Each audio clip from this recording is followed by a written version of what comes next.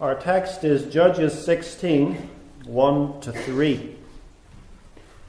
Then went Samson to Gaza, and saw there an harlot, and went in unto her. And it was told the Gazites, saying, Samson is come hither. And they compassed him in, and laid wait for him all night in the gate of the city, and were quiet all the night, saying, In the morning, when it is day, we shall kill him. And Samson lay till midnight, and arose at midnight, and took the doors of the gate of the city, and the two posts, and went away with them, bar and all, and put them upon his shoulders, and carried them up to the top of an hill that is before Hebron. Beloved, after the great slaughter at Lehi, which we considered this morning, the Philistines seem to have left the Israelites alone for a while. The Philistines seem to have been subdued. After all, out of nowhere, it seems, a great judge has appeared who has been able single handedly and without a proper weapon to kill 1,000 of them in one day. And thus they are most likely too afraid to attack Israel as long as Samson is around. And so we see here that Samson's judgeship, which according to chapter 15, verse 20, lasted 20 years, Samson's judgeship was mostly him keeping the peace. There were a few examples of his battles, but most of the time for that 20 years, he simply kept the Philistines at bay. And the Israelites, we would hope, learned this and learned to appreciate that God had given them a Savior, and so long as He ruled over them, they would be safe from their enemies. Samson does not appear after chapter 15 to have sought any further occasion against the Philistines. He seems to be satisfied to keep them at bay from the Israelites. And that, too, was an error on Samson's part.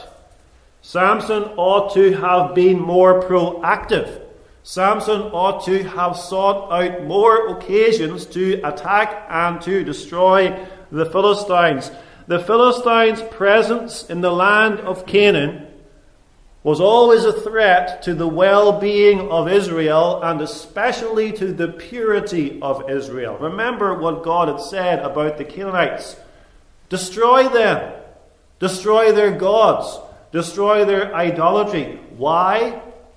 Because if you don't, they will become a snare unto you, which is exactly what happens time and time again in the book of Judges. And so we see here a weakness in Samson. He was too quick to stop the fight.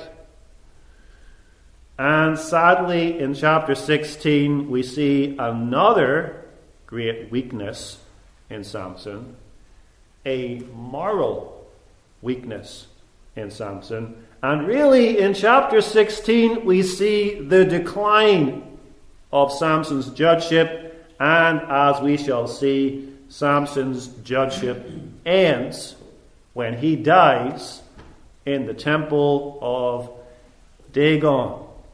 You see, in chapter 16, Samson has begun, you might say, to enjoy his position as judge. He enjoys the fact that he can go where he pleases and do as he pleases. He enjoys the fact that he has this great strength that Jehovah has given to him, but he's not that interested or really interested at all in living a holy life. He thinks he can use the gifts that God has given to him to be an office bearer and judge in Israel for his own pleasure. And thus we find him at the beginning of chapter 16 in bed with a harlot. But God is not going to permit this behavior to go on for much longer. Because God, you see, loves Samson. And when God loves his people, he does not permit them to walk down the road of destruction and to be destroyed, just as when you love your children, you do not allow them to walk out in front of a car and be killed, because you understand that a loving parent will restrain their children for their own good. And so Samson himself will also have to be restrained. And yet, in chapter 16, at the beginning, it appears that God is not yet going to chastise him, and that, you see, will be a snare to Samson. Because if God does not chastise early, the tendency is that we think to ourselves, I got away with that sin, and perhaps I will get away with that sin again and again and again. And a time comes when God comes in his chastisement and stops a child of God in his tracks. And so in chapter 16, in our text this evening, God indeed gives Samson a great victory. But it comes at a great spiritual cost. Notice then, Samson removes Gaza's gates. Samson removes Gaza's gates. Notice first the miraculous event, then the significant victory, and finally the moral weakness. Samson, at the beginning of the chapter, is in the city of Gaza. Now, Gaza was not an Israelite city, Gaza belonged to the Philistines. It was one of the great five cities of the Philistines. Remember, the Philistines were ruled by five lords, and they had five major cities Ashdod, Ashkelon, Ekron, Gath, and Gaza. And Gaza was a walled and heavily fortified city. Gaza had a prison house. Gaza had a great temple of Dagon. Gaza was an important city for the Philistines. And if you look in your Bibles at your Bible map, you'll notice that Gaza was some distance away from where Samson lived. Samson lived in Zorah and Gaza was some 80 kilometers southwest of Zorah, which means that Samson had to travel throughout the whole land of the Philistines to get to his destination of Gaza. We don't know why he went there, but he went there nonetheless, and that's significant that means that Samson, who remember is public enemy number one, is able to walk throughout the entire land of the Philistines, through the entire territory of the enemy, unmolested and unchallenged. He does not even need to go there in disguise. Although after the great victory at Lehi, where he destroyed 1,000 Philistines, everyone will know who he is, it's clear, therefore, that the Philistine population are afraid of Samson and they will not put their finger on him unless they have some special plan by which they might kill him. And as long as this Samson remains alive, they will not rise up again to attack Israel. Now, Samson arrives at Gaza. He comes to the gate. And the gate presumably has a gatekeeper. And the gatekeeper allows Samson to enter into Gaza. We have a description of this gate in verse 3. There were doors, there were two posts, and there was a bar. Think of a large gate in a fortified city. Probably you had two large poles made of either stone or wood, and you had a large wooden gate, and you had a large metal bar or perhaps a wooden bar which closed this gate. You may also have had watch towers and rooms because you'll notice that those who were lying in wait for him were lying in wait for him in the gate. And therefore, this was a large, impressive structure. And so Samson arrives at the gate. He goes in through the gate. The gatekeeper allows him to enter into the gate. And he goes into the house of an harlot. And he spends the night there. No one stops him. No one questions him. And he decides, after he has finished his business in Gaza, he is going to leave. He decides to leave at midnight when it is dark. That too is unusual. People do not usually, in that day, travel at night. It's dangerous to travel at night. There are bandits there are wild animals. There was no street lighting in that day. But those kind of things were no obstacle to Samson. He didn't worry about those things. After all, he could kill a lion with his own bare hands. And as he wakes up at midnight, decides to leave, he does not find that these gates are a barrier to his leaving. He is the servant of Jehovah.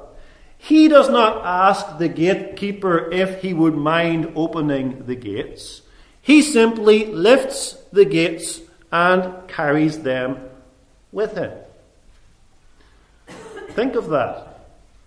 At midnight, there's this cracking, crashing sound heard in the city of Gaza.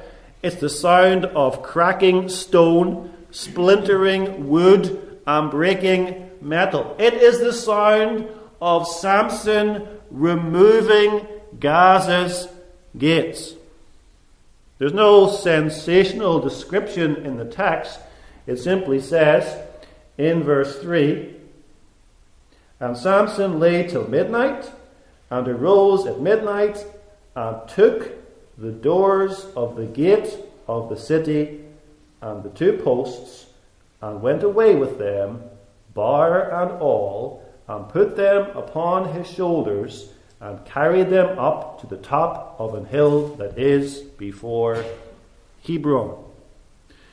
He took hold of the gates, he seized the gates, and he went away with the gates. Just as you, would pull a flower out of your garden and leave a little hole behind where the flower had been planted. So Samson, with barely any effort, simply uproots the gates with the whole structure and places it upon his shoulders. He does not destroy or demolish the gate. He simply lifts it up and removes it intact in one piece the doors of the gate of the city and the two posts, and went away with them, bar and all. Now, this structure must have weighed several tons. And he did this without any kind of a weapon, with no battering ram, with no siege engines, with no tool, simply by brute force. And again, beloved, we must not think of Samson as some kind of a Hercules figure. He was incredibly muscular, who was a bodybuilder, Samson could not have done this in his own strength. No man, no matter how much working out he does at the gym, could do this in his own strength. Samson did this by the power of God. We're not told that explicitly in the text, as on other occasions, that the Spirit of God came mightily upon him, but that's exactly what must have happened because God is the source of Samson's strength. God gave Samson the power to do this. Why? Because he loved Samson, and because he loved Israel, the people of Samson, and because he loved his own name and desired to glorify his own name. And Israel must know, and the Philistines must know, and they will hear of this, that there is a God in Israel a God who so loves his people that he empowers his servant to lift the gates of Gaza and transport them somewhere else by supernatural strength, by the strength given by God Himself. And having lifted up these heavy gates upon his shoulders, Samson begins to walk away. And this too is a feat of supernatural strength. Difficult enough to uproot these gates in the first place. One thing it would be to take those gates and chuck them over in the corner and then go home. But Samson doesn't do this. He places them upon his shoulders and he walks all the way to a hill which is before Hebron. And that's some distance. He carried, therefore, the gates of Gaza from the city of Gaza throughout the land of the Philistines all the way into the land of Israel to the territory of Judah up a hill near Hebron, which is 60 kilometers. That again shows us that this is a miracle. Try to picture that in your mind. Here's a man. He's lying in bed. He wakes up at midnight. He uproots the gates of the city. He carries them from Gaza all the way to Hebron, and as he does so, he has to march through many Philistine villages and towns. This would have taken him hours and hours to walk. And many Philistines would have seen this man walking with the gates of Gaza, and they would have seen, those are the gates of Gaza. What in the world is happening? Fear would have filled the Philistines' hearts. Who is this man? Who is this man who can slaughter 1,000 of our men with the jawbone of an ass? And who is this man now who can take the gates of one of our most prominent cities, uproot them, and now carry them throughout the land as a trophy. And what kind of a God is this that can give man power to do this? And this must also have been wonderful for the Israelites to see. As they see Samson, who is well known to them, coming trudging along with this massive structure upon his shoulders, and they say, What in the world is that? Gates. The gates of Gaza. He deposits them on top of a hill for men to see from all around, and people can come and look at these gates of Gaza and see what their hero Samson has accomplished by the power of God. You can think of parents bringing their children to see the gates of Gaza. Look, boys and girls, the gates of Gaza. Samson has brought them all the way from Gaza, and now they're sitting up on a hill for us to look at. What a great God we serve. That ought to have been the reaction of God's people to this miracle. And this miracle, beloved, was extremely humiliating for the Philistines and a great victory for God's people. Consider what the gates of Gaza mean. The gates of Gaza are her glory and her protection. Gaza, as I said, is one of the five prominent cities of the kingdom of the Philistines. It may even have been her capital city. This was no mean village, therefore, that Samson came to. And about Gaza, the Philistines could well have said, in a paraphrase of Psalm 48, Walk about Gaza and go round about her. Tell the towers thereof, mark ye well her bulwarks, consider her palaces. Gaza undoubtedly boasted about her defences, as every walled city does. We have great gates at Gaza. No one could ever conquer us at Gaza. And her boast was vain because Jehovah's servant could simply come into Gaza and simply uproot her gates and carry them all the way into Israel, and no one could lift a finger to stop him. What a laughing stock Gaza must have been when word had spread throughout Philistia and the surrounding nations and had spread into Israel. What a laughing stock Gaza must have been. Where the gates were now is a gaping hole. Gaza is defenseless. And think too of what gates were in the Old Testament. Gates were the place of business and concourse. We're told several times in the Old Testament that the elders of the city would meet in the gates to make decisions. That's the center of politics is the gates. That's where discipline would take place. That's where punishments would be decided in the gates. And businessmen met in the gates to do their business deals. And Samson simply removes the gates of Gaza. They're gone. Gone in one night. Gone without any war, simply removed. It's a blow to their security. It's a blow to their commerce. It's a blow to their politics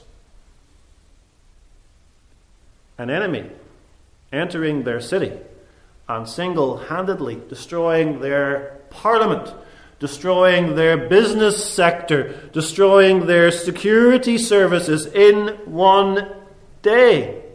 And this is after, remember, Samson had devastated their economy by destroying their fields and all of their crops. No wonder they're afraid of him.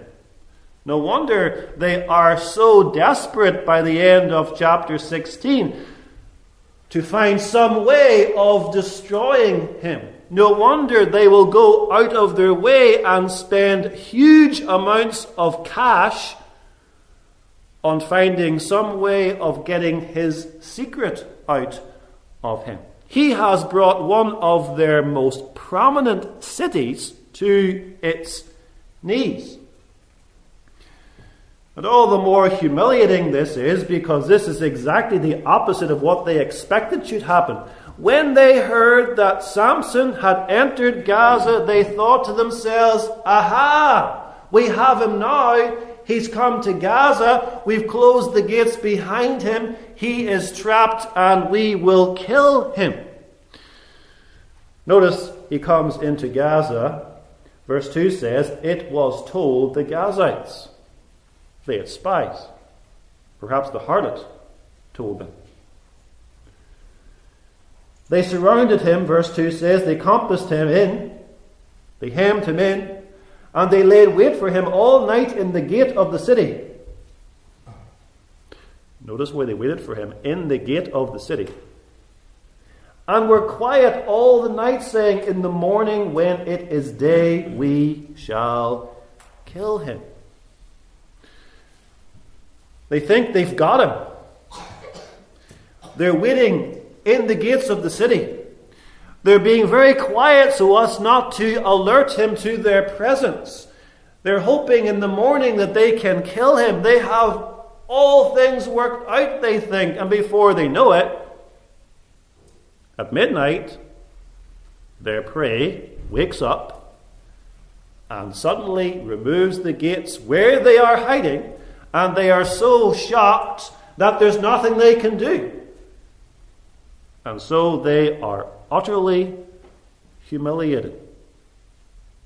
What a rude awakening, beloved, this must have been to them. And no doubt, Samson thought it very amusing. It was great fun for him to do this, to humiliate the enemies of God in this manner. But, as we'll see, he's playing with fire because he is, even at this time, involved with an harlot. But Samson, beloved, is a type of Jesus Christ. Not, of course, in everything he does, because then typology would go too far. But he is a type of Jesus Christ as Samson is a judge, so Jesus Christ is the Savior. He is a dim reflection, he is a shadow of the great Savior and Deliverer. His work is a shadow or a picture of what Christ himself will do. Turn to Genesis chapter 22.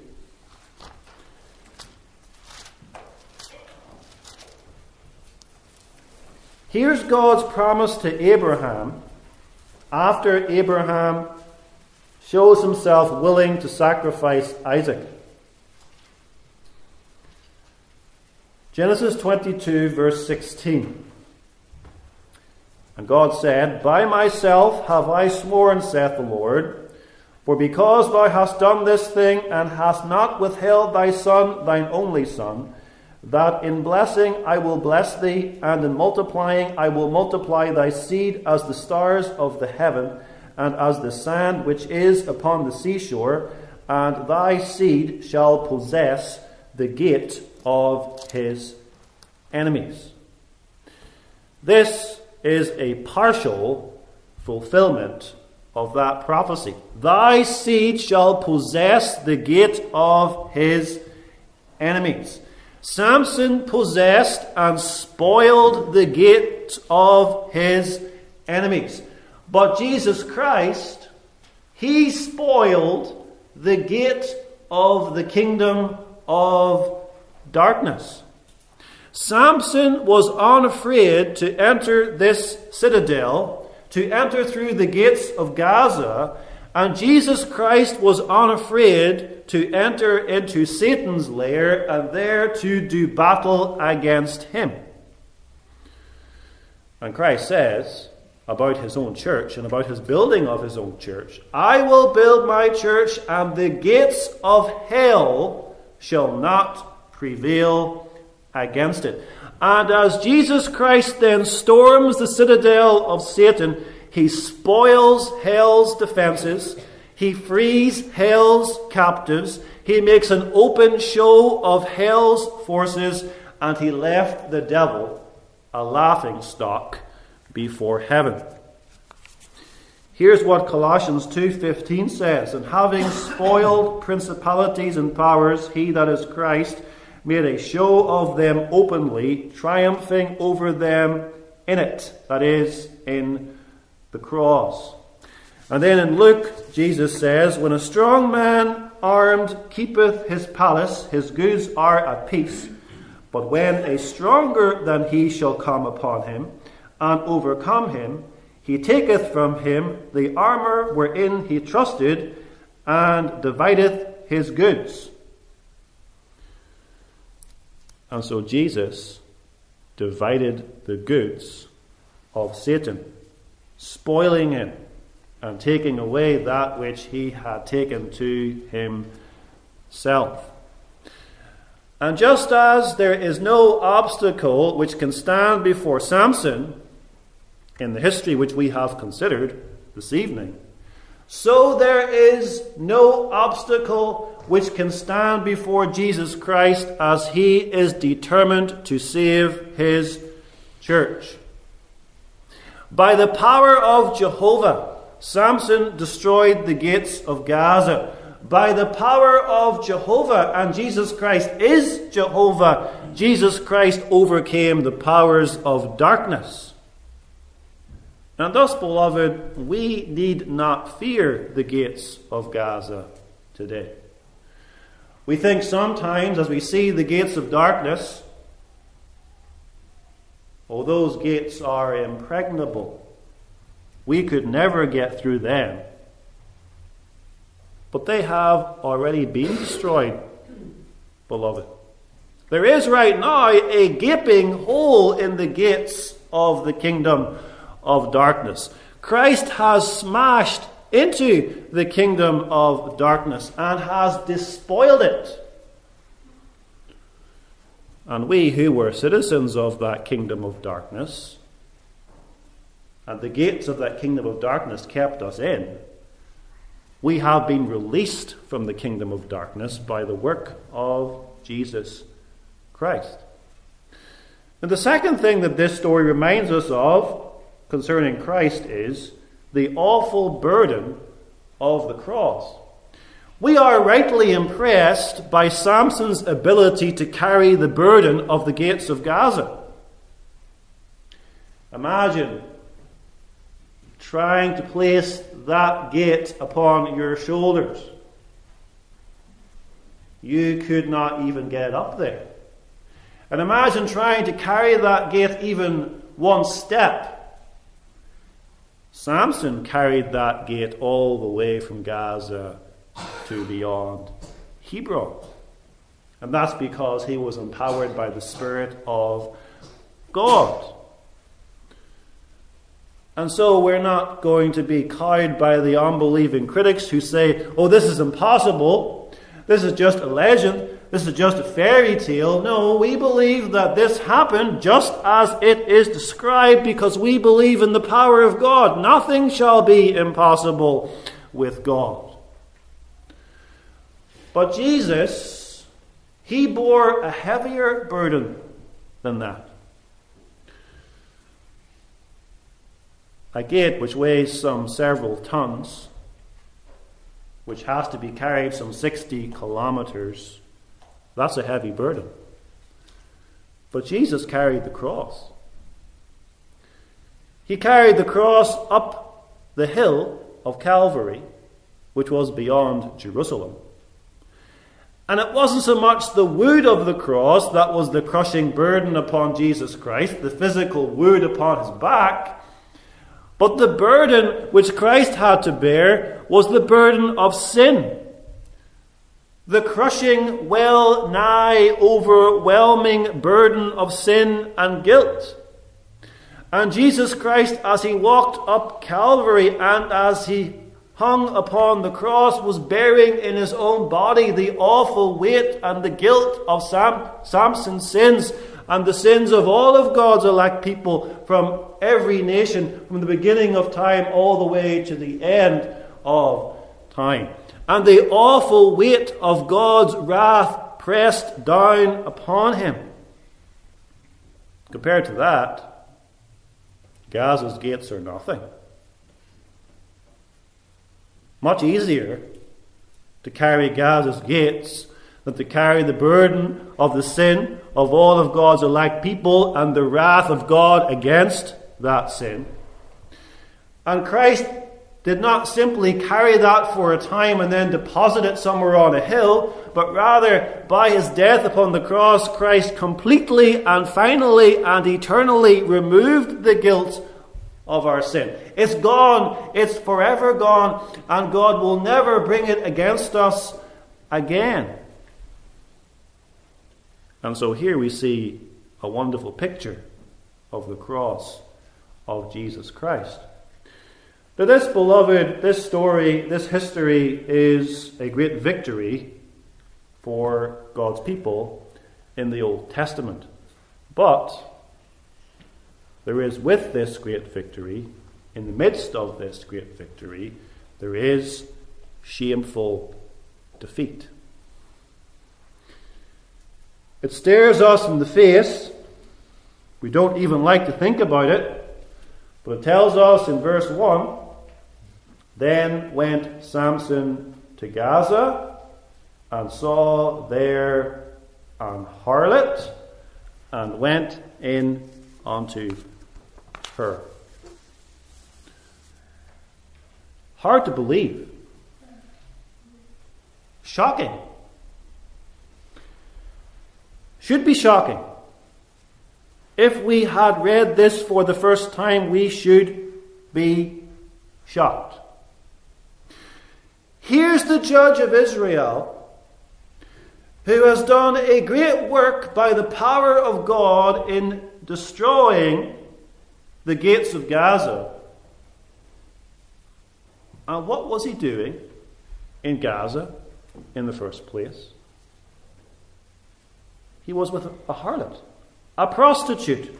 He was sleeping with a prostitute. And here we see the sin of Samson is getting worse and worse.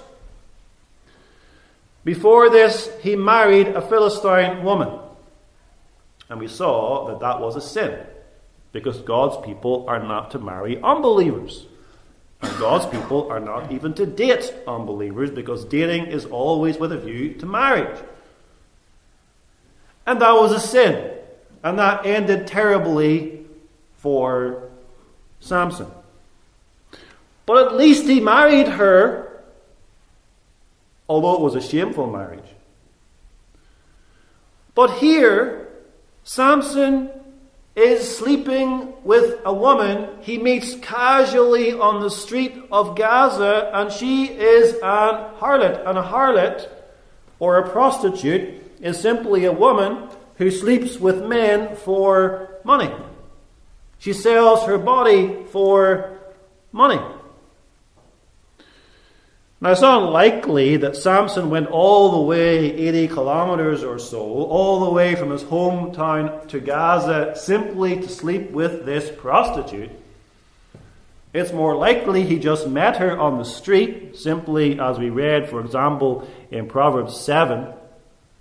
He, as it were, strayed into her area and was enticed by her. But for all that, this is a gross violation of the seventh commandment thou shalt not commit adultery. And there is no excuse for this behavior. He went into her means that he went in and slept with her. Again, I say this is shocking. He saw a woman who was a prostitute, he saw her on a street corner in the city of Gaza. And when he saw her, he did not turn his eyes away from her. He did not turn his ears away from her flattering words. He walked right into temptation and he finds himself in her bedroom. Now, Samson knew he knew the stories of Israel's history. He knew that a good Jew must not do this. He knew the Ten Commandments. He knew what Joseph had done many years before this in Egypt when Potiphar's wife had tried to seduce him. He knew that the solution to this problem is not to go into the harlot, but to flee from her. But he follows her into her bedroom. And you can hear the excuses. As men who commit sin always try to excuse themselves. Oh, it doesn't mean anything. It's only a one night stand. It's only going to happen this once. And no one knows about it because, after all, I'm very, very far away from home In Gaza, there are no Israelites around here to see. And I can stop when I want to. That's a common one. I can handle it. It won't affect me.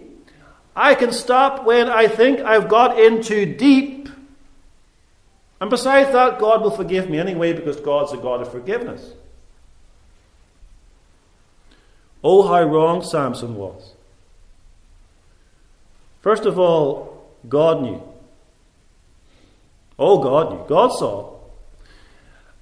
And God even has it recorded in the scriptures so that we know. So that down through history, God's people who read the scriptures know that Samson shamefully slept with an harlot.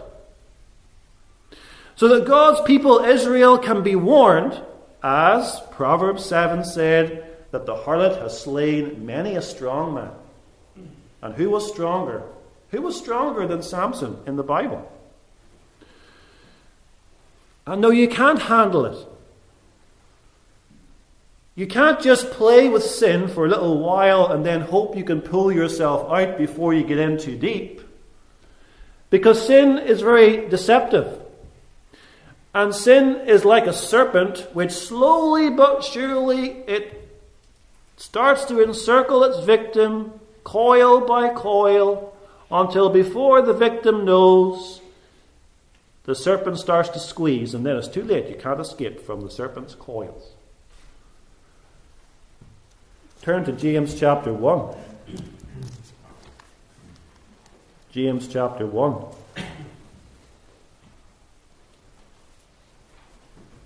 Verse 13. Let no man say when he is tempted, I am tempted of God, for God cannot be tempted with evil. Neither tempteth he any man, but every man is tempted when he is drawn away of his own lust and enticed, then when lust hath conceived, it bringeth forth sin, and sin, when it is finished, bringeth forth death. Death. And Samson's sin is all the worse. It is aggravated by several other factors. Samson is not merely an ordinary Israelite, Samson is a judge. Samson, therefore, is an office bearer in Israel. Samson is a representative of Jehovah to the nation. Now, it's one thing, beloved, when an ordinary church member commits a gross public sin which makes him worthy of church discipline.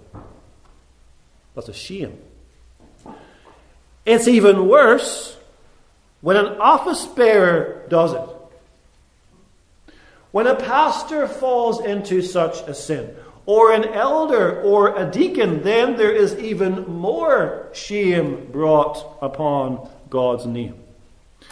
And how ought Israel to blush when they read this? A judge. God sends a judge God sends a Savior or deliverer for his people Israel. And where do we find him? In bed with a prostitute.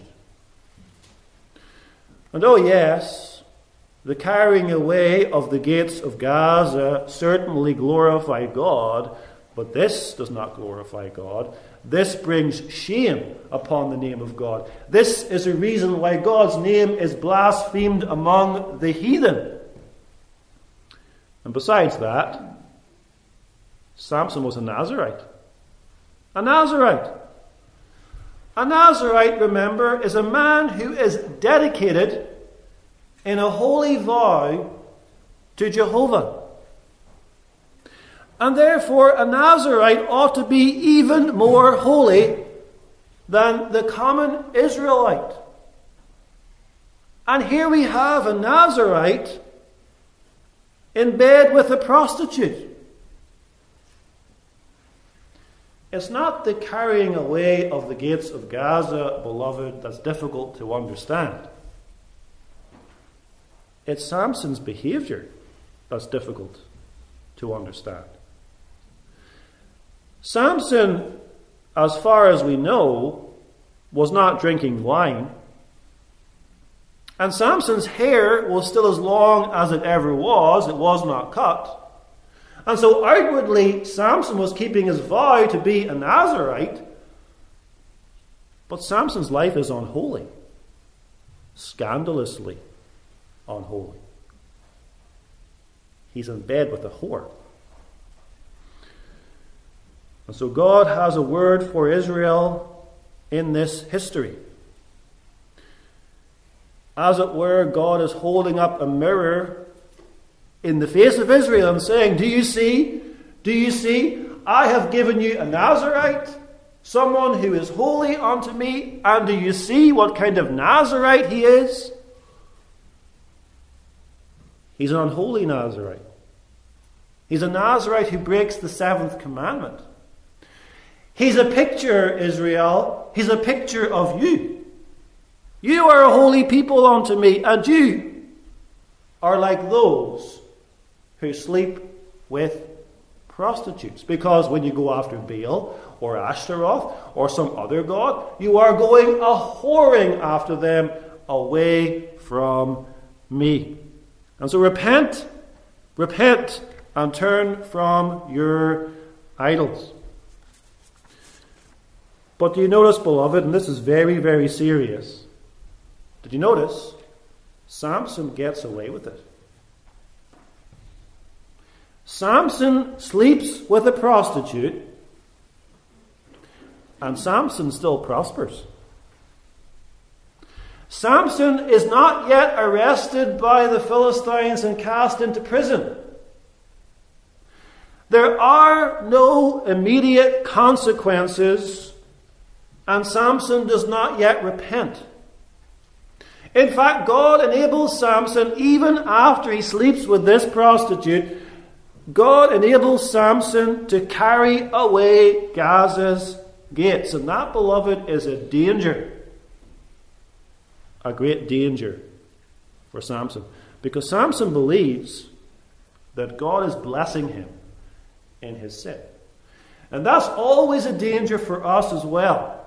When we're walking in sin and nothing untoward, nothing negative begins to happen to us, we're thinking to ourselves, God is turning a blind eye to my sin. And there are no consequences to my sin. And therefore, God doesn't really care about my sin, and I can keep sinning. In a word, Samson is becoming presumptuous. Presumptuous.